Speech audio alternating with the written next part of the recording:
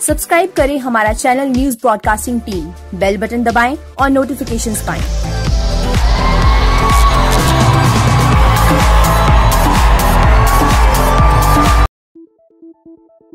अमिताभ बच्चन की बेटी श्वेता बच्चन नंदा जल्द अपना एक्टिंग डिब्यू करेंगी।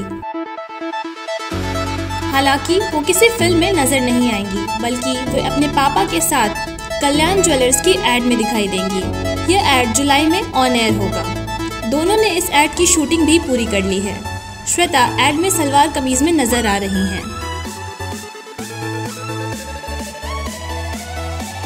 श्वेता ने हाल ही में अपने अपकमिंग बुक की अनाउंसमेंट भी की है।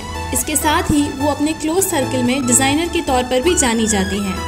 यह एड मलयालम में भी बन रहा है, जिसमें अमिताभ की बेटी के रोल में मंजू वरियर नज़र आएँगी। Pallavi news broadcasting team Delhi.